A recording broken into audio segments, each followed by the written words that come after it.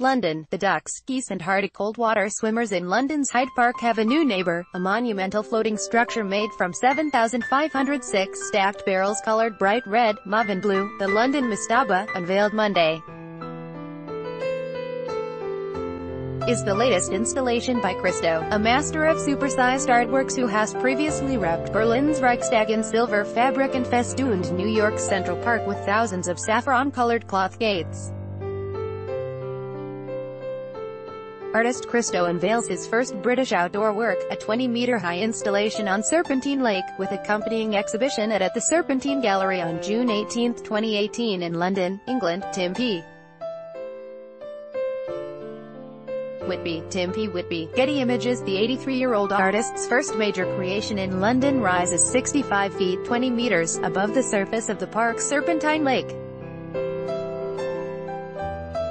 Its slope-sided trapezoid was inspired by ancient Mesopotamian benches and Egyptian tombs. The colors have been chosen to complement the lush greenery and grey-blue skies of a London summer. The sculpture, which will float on the lake until Sept. 2023, is accompanied by an exhibition at the nearby Serpentine Gallery tracing the barrel-based artworks Christo has created since the 1950s, often with his wife and artistic partner, Jean Claude, who died in 2009. The pair started experimenting with paint cans and upsized to oil drums, using them to create walls, mounds and other structures both monumental and temporary. Article continued below many of their grander schemes have never been built. Others took decades. Christo and Jean-Claude first dreamed of a floating mastaba, Arabic for bench, in 1967. Initially it was to be built on Lake Michigan. Five decades later, it has finally arisen in London. Since 1977, Christo has been planning an even bigger version, a mastaba set in the Abu Dhabi desert that would be made from 410,000 barrels, rise 500 feet 150 meters, and constitute the largest sculpture in the world. Like Christo's other works, the London Mastaba is temporary. At summer's end it will be dismantled and the barrels recycled, in keeping with Christo's leave no trace philosophy.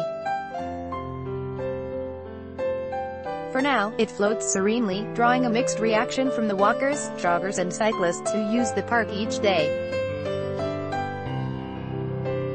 Local Lucia Halpern, who watched the work being constructed in the park over two months, said her cockapoo Coco was a fan, because it keeps the ducks away and she can go in the water, but she declared herself a bit disappointed by the structure.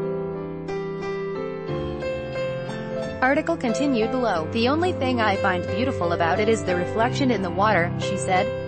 Maybe that's the point. It's quite pretty when it gets the light and puts these magenta and pink colors on the water. The Bulgaria-born, New York-based Christo is unconcerned about getting divergent reviews. Any interpretation is legitimate, critical or positive, he said.